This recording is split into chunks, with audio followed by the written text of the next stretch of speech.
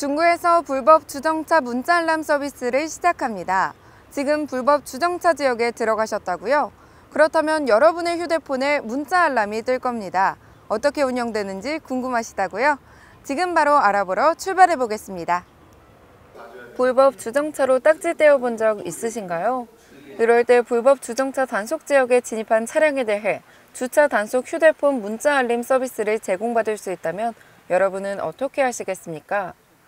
중구에서는요, 8월 1일부터 차량의 자진 이동을 유도하고 단속 행정의 신뢰성을 제공하며 선진 주차 질서 문화를 정착하기 위해 불법 주정차 단속 지역에 진입한 차량에 대해 CCTV 단속 지역임을 알리는 운전자 휴대폰 문자 알림 서비스를 실시합니다.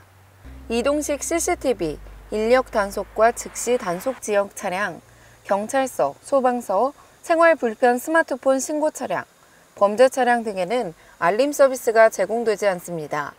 중구 관내를 운행하는 운전자는 중구 홈페이지나 스마트폰 앱에서 주정차 단속 알림 서비스 통합 가입 도우미를 다운받아 행정복지센터 신청사를 작성하면 문자 알림을 받을 수 있습니다.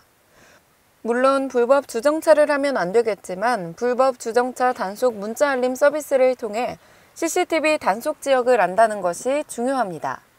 그리고 운전자의 자발적 차량 이동 유도로 원활한 교통 흐름이 확보되고 또 단속에 대한 행정의 신속성과 신뢰성 제고로 선진 주차 질서가 확립됐으면 좋겠습니다. 지금 바로 중구의 불법 주정차 문자 알림 서비스 신청하세요.